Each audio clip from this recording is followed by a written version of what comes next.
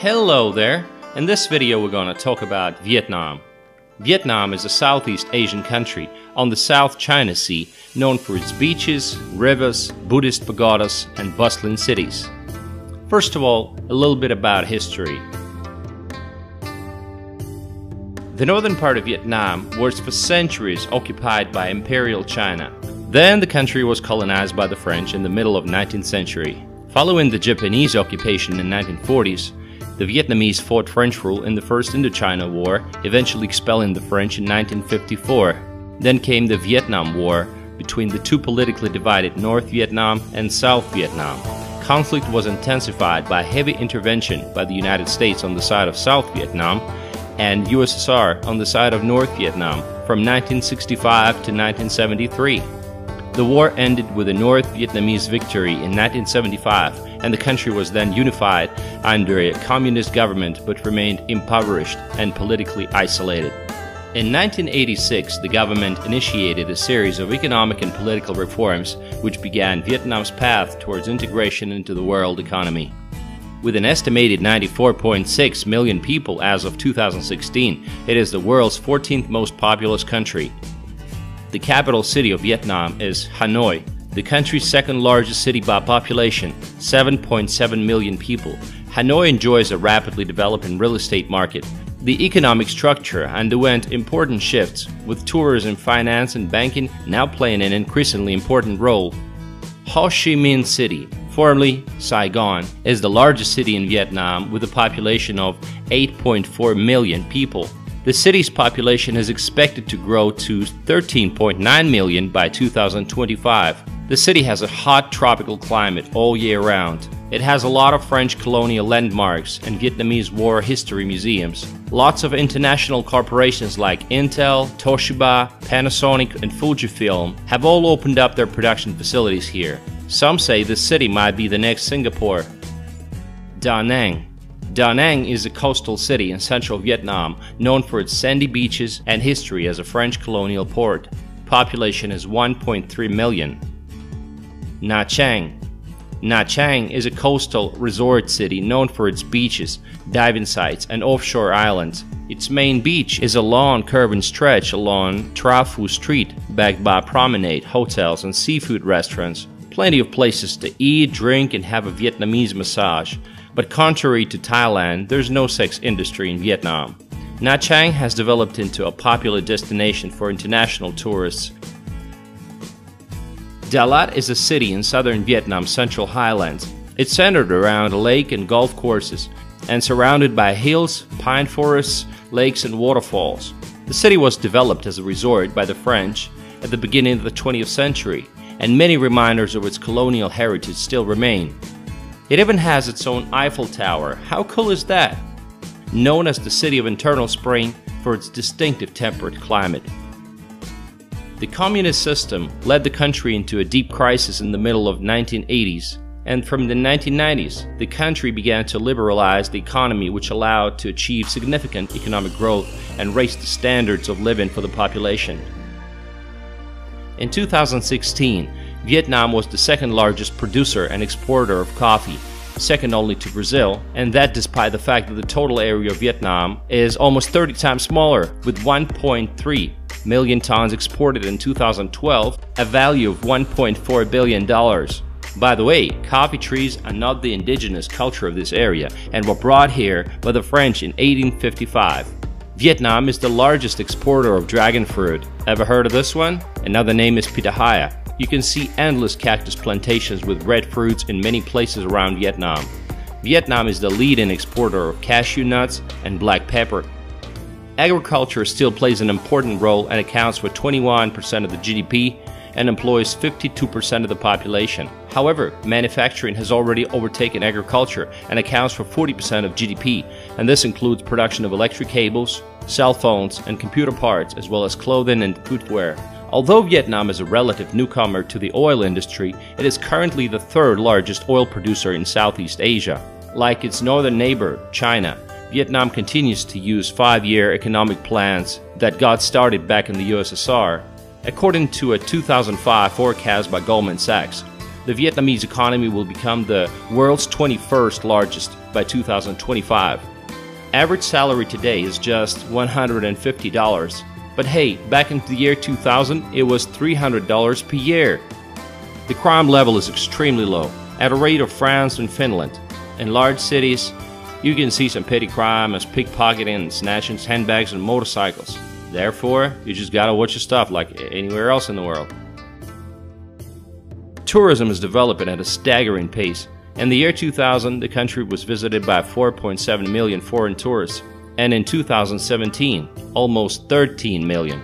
Most tourists come from China, South Korea, Japan, Taiwan, the United States, and Russia. Mui Ne, by the way, might be the best place for kitesurfing in Asia. Quoc is gaining popularity as a secluded tropical island with pristine beaches. In the north of Vietnam, you gotta visit Ha Long Bay, a UNESCO World Heritage Site, a popular tourist destination. In southern Vietnam, a cup of coffee is often accompanied by a cup of cold tea. Typically, the coffee is prepared in single servings in stainless steel coffee filters known as phin. The Vietnamese coffee is rich, flavorful, sweet, and perfect on a cool day. The coffee is slowly dripping into the glass and mixed in with the condensed milk, making it almost a meditation practice. Vietnam is also famous for Kopi Luwak, or civet coffee. It's the kind of coffee that includes part digested coffee cherries eaten and defecated by Asian palm civet. At the same time, per capita consumption of coffee in Vietnam is really low. About 95% of coffee is exported. Vietnam holds the second place in terms of rice consumptions per capita. A typical Vietnamese eats 169 kilograms of rice per year. No wonder they have so many rice varieties. Soup pho is one of the most popular Vietnamese dishes.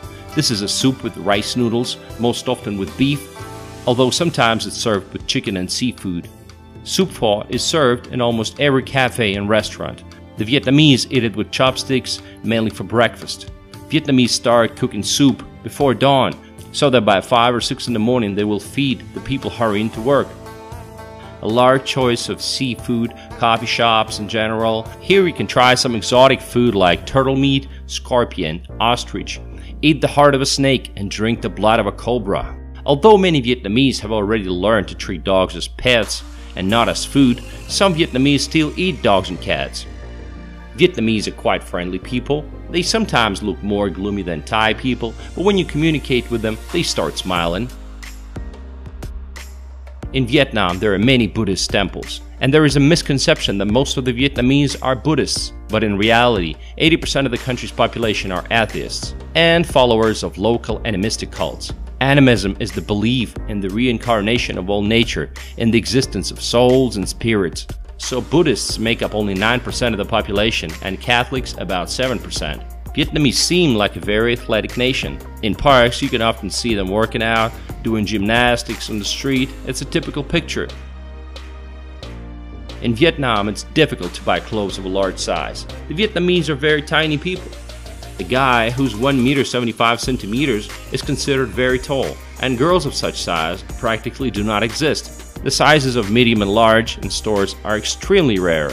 Many Vietnamese walk around the city wearing masks on their faces. You might think that this is protection against dust, though the Vietnamese themselves say that this way they protect the face from the sun's rays. White skin is considered the standard of beauty in Vietnam. Dark skin is associated with heavy physical work in the fields and low social status. The most common name in Vietnam is Nguyen.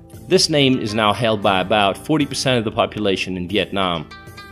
All school kids wear a uniform in the junior classes, it's a mandatory element of clothing. They wear a white and blue uniform in high school.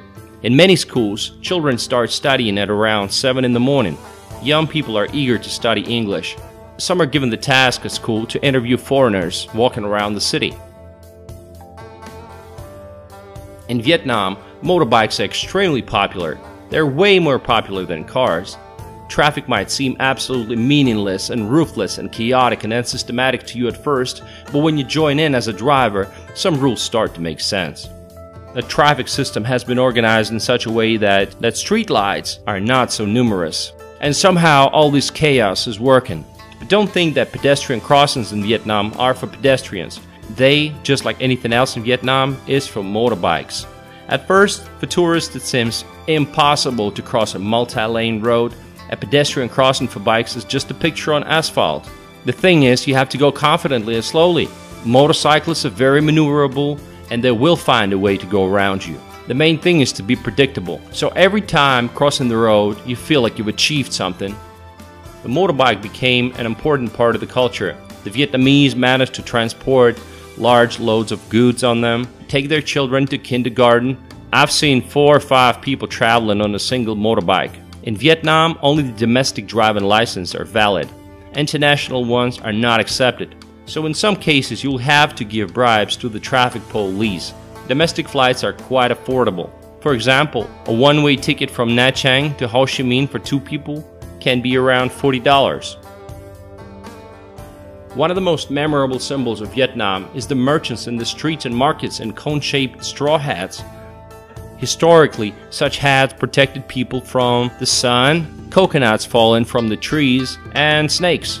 Driving in Vietnam is slow and monotonous. It's gonna take you three and a half hours to drive just 200 kilometers. Take the plane instead if possible. Vietnam is developing at a flabbergasting pace. In all major cities, there's a construction boom. Investments are coming from all over the world. Vietnam now has to balance between communism, capitalism, and Eastern values. What an interesting mix. And what do you think of Vietnam?